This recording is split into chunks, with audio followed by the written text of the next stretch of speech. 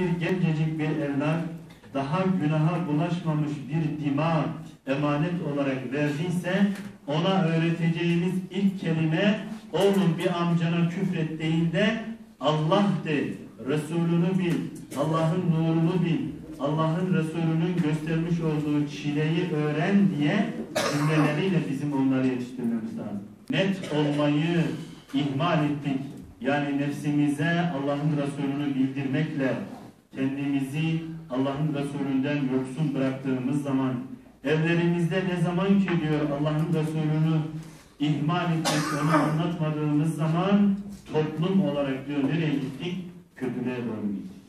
Onun için bugün bizim ferdi olarak, nefs olarak Allah'ın Resulü'nü tanımaya ihtiyacımız var. Bu Allah'ın Resulü'nü tanımak ve bu Mevlid-i Nebi haftasında Allah'ın Resulü'nü salavat eşliğinde gençlerimize anlatmak ve bunu en güzel bir şekilde salavat eşi, eşliğinde yad etmek için bizi bir araya getiren ben Hak Ev Vakfı'na teşekkür ediyorum. Muzaffer Başkan'ın şahsından. Ve en önemlisi de evlerimizde Allah'ın Resulü sallallahu aleyhi ve sellemi okumak. Okumamızla bu müzakereyi yapmamız lazım. Ve bizler fert olarak iyileştiğimiz zaman, evler olarak iyileştiğimiz zaman, o zaman toplum olarak da Allah'ın izniyle iyiliğe çıkan, kötülükten kaçan bir toplum haline gelmiş olur. Topluma mazeret bulmaktansa kendimizi yetiştirmeye, Allah'ın Resulü sallallahu aleyhi ve sellemi ben ne kadar tanıyorum? Ona ne kadar sahip çıkıyor? El-Kur'an dediği gibi Hazreti Ayşe validemiz Peygamber Efendimiz sallallahu aleyhi ve selleme söylerdir ki Ya Resulallah sana ahirette yakın olmak istiyoruz. O ne cevabı veriyordu? Diyordu ki Ya Ayşe çileye amade ol. Eğer çile çekersen okun ve Allah'ın nuru için çaba gösterirsen o zaman bana en yakın olanlardan olursun. Hani şöyle bir tarihe gittiğimiz zaman sahabe yanında yetişmiş ve onun edebi içerisinde onun dizinin dibinde ayrılmayan bir sahabi diyor. Ve biraz önce bir muhasebe eder. Der ki bu hayattan sonra hepimiz ahirete gideriz. Allah herkese ne yapacak? Bir makam, bir mevki verir. Dolayısıyla Allah'ın Resulü sallallahu aleyhi ve selleme alemlere kendisini rahmet olarak gönderilen bir peygamber ile benim makamım, benim mevkim aynı olmayacak diye şöyle kendi kendine düşünür, bulunduğu yerde Hazreti Sevdan radıyallahu anh bayılır. Ve bayıldıktan Efendimiz sallallahu aleyhi ve sellemle beraber haşrolmayı nasip eylesin inşallah. Gencecik evlatlarımıza Peygamber Efendimiz sallallahu aleyhi ve sellemi hayatını tatbik etmeyi onlara nasip eylesin inşallah. Genç dediğimiz zaman Allah'ın Resulü sallallahu aleyhi ve sellem öyle buyuruyor. Diyor ki ideal gençlik şudur diyor. Eşşâdun fi ibadeti Rabbihi diyor. O genç ki diyor Allah'a o zaman biz büyüklere düşen bu gençleri biz yarının gençlerini nasıl yetiştirelim? Kendimiz tatbik ettiğimiz zaman kendimiz kıbleye döndüğümüz zaman, kendimiz evlerimizdeki Kur'an'ı indirip okuduğumuz zaman Allah'ın izniyle o evlatlarımız da Kur'an ehli olacak, Kur'an'ı bilen, Kur'an'ı hayatına taşıyan gençler olacak inşallah. Son olarak şunu da aktaralım inşallah bitirelim. Herhalde bayağı bir uzattık. Hani bir hocamız anlatıyor. Kendisiyle beraber bir ders okuduğumuz bir hocamız. Şu anda İstanbul'da bir büyük bir camide imam olan bir hocamız. Bir başından geçen bir hadiseyi bize anlatıyor. Diyor ki ben diyor bir mescitte imamım diyor. Ve diyor imam olduğu zaman diyor her gelen yabancı cemaatle diyor tanışmak isterdi diyor. Hani imam efendi namazı kıldıktan sonra ne yapar? Mihraptan cemaate döner. Döndüğüm zaman diyor bir cemaatte işte 10 tane cemaatim varsa bir tane yabancı birisi varsa diyor ona işaret ederim. Namazdan sonra onunla tanışırım. İkram varsa orada da bir ikram ederim. Öyle gönderirim diyor. Tanışmak nedir? Sünnet. Bir gün diyor namaz kıldıktan sonra diyor baktım İşte böyle 55-60'lı yaşlarda bir amcamız diyor gelmiş namazını kıldı böyle heyecanlı bir şekilde. Namaz bittikten sonra ben işaret ettim diyor. Namazdan sonra odaya geçtik, cübbeyi çıkarttık, oturduk, hoş geldiniz, safa falan. Nasılsınız, iyi misiniz hocam demiş ben işte yakında oturan bir akrabamız var. Onun düğünleri vardı. Bir ziyaret ettik. Şimdi dedik hemen ezan okundu. En yakın camide bir namazımızı kılalım. Öyle yolumuza devam ederiz diye şey yaptık. Tabii böyle biraz konuştuktan sonra hocam demiş ben emekli bir öğretmenim diyor. Sen bakma benim şu anda camiye geldiğime, şu anda namaz kıldığıma bakma diyor. Ben diyor 1970'lerde diyor Türkiye'ye komünizmi getirecek olan kişilerin bir numaralı şahsiyetiydim diyor. Başı çeken kişilerden birisiydim diyor. Gecemizi gündüzümüze katarak Türkiye'ye komünizmi getireceğiz. Allah muhafaza haşa haşa onun o zamanki cehalet deyimiyle bu ülkeyi bu cehaletten, bu İslamiyet'ten kurtaracağız diye böyle bir gecemizi gündüzümüze katarak diyor çalışan kişilerin başını çekiyordum diyor. Peki diyor, seni şu anda camiye getiren ne oldu diyor o zaman diyor. Ben diyor bir gün diyor şöyle yine arkadaşlarla oturmuşuz. İşte komünist arkadaşlarla diyor. Herkes diyor kendi planını, programını anlatıyor. O arada diyor bizim mecliste olan bir kişi diyor Allah muhafaza Allah'a büyük küfürler etti diyor. Hani biz her ne kadar komünist olsak da diyor bir Müslüman ülkede yaşamışız. Hani adam ülkemizi anlatınca diyor ya bu ülkenin komünisti bile en son bile ne diyor? Allah diyor. Ve diyor orada diyor Allah'a küfrettikçe diyor ben kalktım diyor. Sofra pis bir sofra diyor. Kalktım şekilde bir kez banyo yaptım diyor. Ondan sonra geldim diyor. Babamın huzuruna baba diyor bana kelime-i şehadeti getir diyor. Eşhedü en la ilahe illallah ve eşhedü enne Muhammeden abduhu ve resulü diyerek diyor hocam o gündür bugündür gittiğim yerde namaz kılarım, sabah namazını ihmal etmem, bu dinin yayılması için bir mücadele içerisindeyim. Ben komünist birisiydim diye söylesin.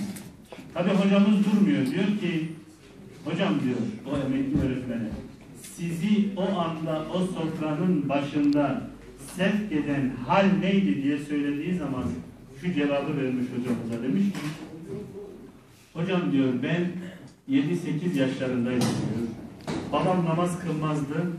Dedem diyor bize misafirliğe geldiği zaman benim elimden tutar camiye götürürdü. Biz beraber namaz kılardık. Bana bir şeyler ikram ederdi. Hani her dede ne yapar? Torununu sever.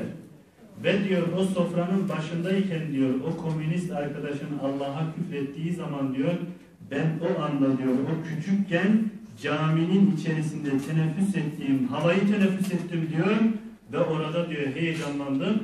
O komünist başkanı diyor yerle bir ettim Allah'ın huzuruna çıktım. O gündür bugündür namaz kılıyorum.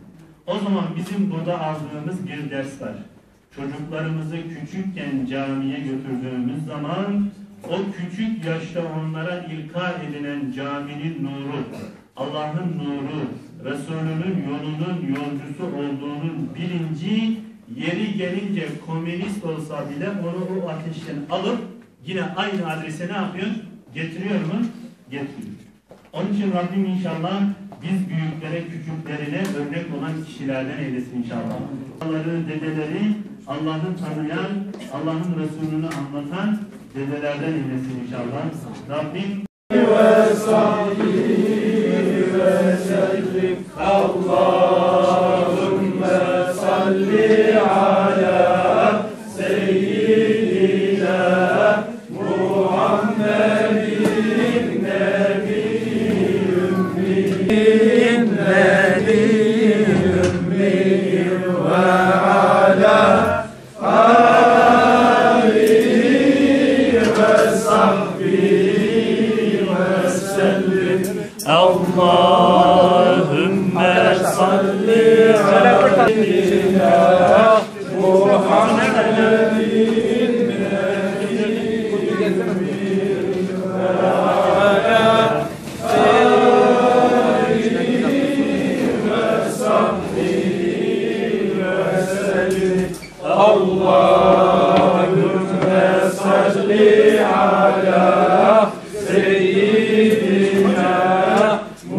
감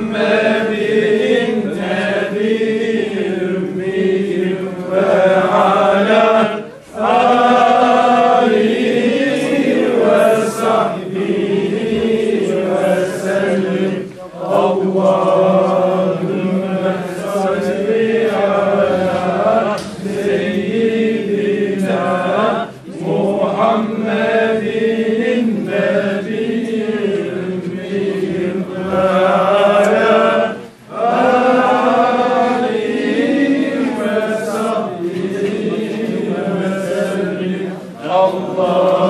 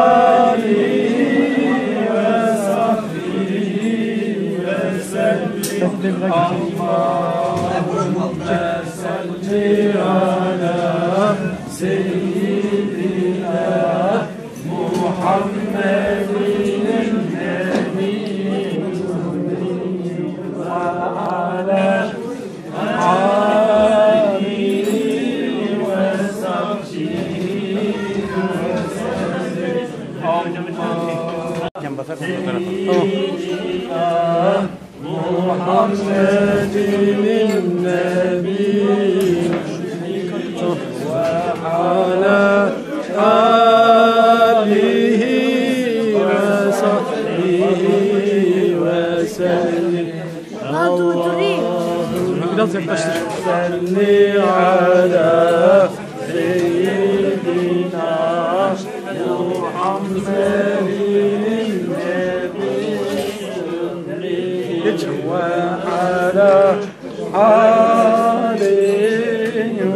Rabbi ve sellih Allahümme salli ala seyyidina Muhammedin.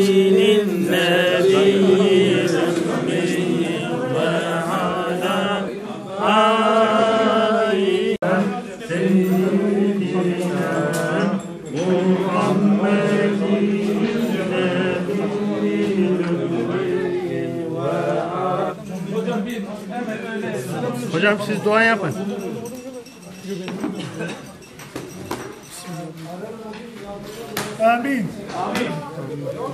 بسم الله الرحمن الرحيم.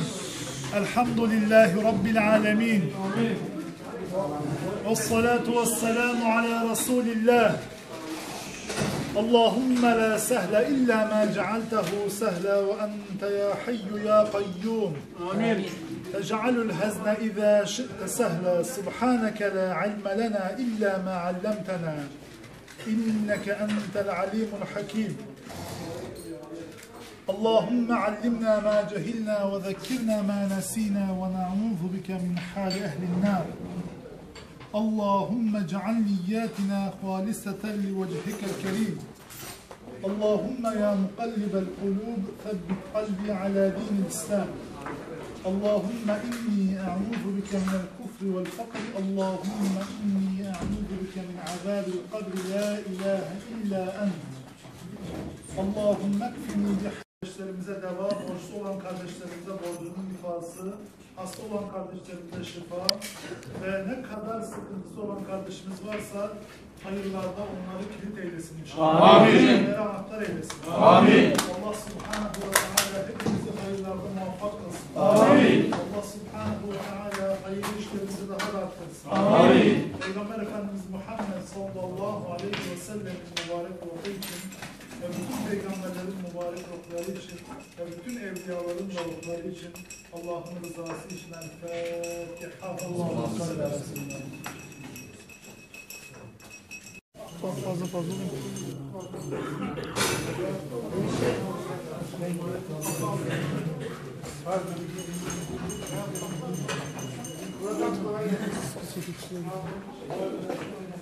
İyi oldu değil mi Sakarya Şerif? Canım, e, Mevlüt Kandili'ndeyiz. Güzel bir sürpriz yaptınız. üyelerinize neler söyleyeceksiniz? Evet, malumunuz e, Mevlüt e, Kutlu Doğum Programı ile alakalı olarak bu gece böyle bir geceyi te- tebrik E, Cenab-ı Allah kendisinden razı olsun. E, Mansur Nursever hocamız da Sakalı Şerif sürpriziyle bizim burada üyelerimizi şereflendirdi. Çok bizim için büyük bir sürpriz oldu. Bizim için de büyük bir anı oldu.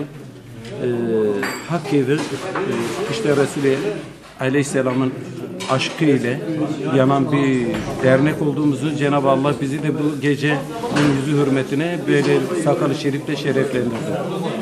Peki başkanım gençlerin ilgisi iyiydi maşallah. Ee, bunun şeyi neye bağlıyorsunuz? Ee, malumunuz üzere biz sadece 2017 yılını tamamen bütün planlarımızı, programlarımızı gençlere yönelik yaptık. Adeta 2017 yılını gençlerle yaptık, gençlerle kalktık. Elhamdülillah bunun da meyvesini verdik. Ee, şu anda e, gençliğimizin de e, iyi bir noktayız. Bu gece iki ve asıl programın sahibi olan da Hakim'in gençlik kollarıydı. Allah kendilerinden razı olsun.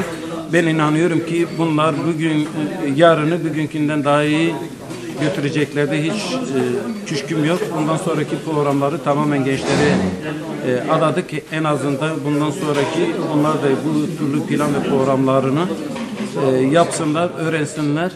Bize de iş bırakmasınlar, bizi emekliye ayırsınlar. Yalnızca başkanların emeklisi olmuyor biliyorsunuz. Ahlak ve maneviyat çerçevesinde çok güzel çalışmalar yapıyorsunuz. Allah razı olsun. Evet. Zaten şu anda bizim temel esaslarımızdan e, birisi ilk önce ahlak ve maneviyat. Yani biz bu yola çıkarken üç tane temel ikram, e, ilkemiz vardı.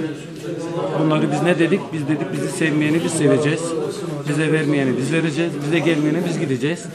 Biz de bu düsturla elhamdülillah bugün 6. yılımız e, oldu. E, bu aşkla her geçen gün daha üstüne bir şey koyarak devam ediyoruz.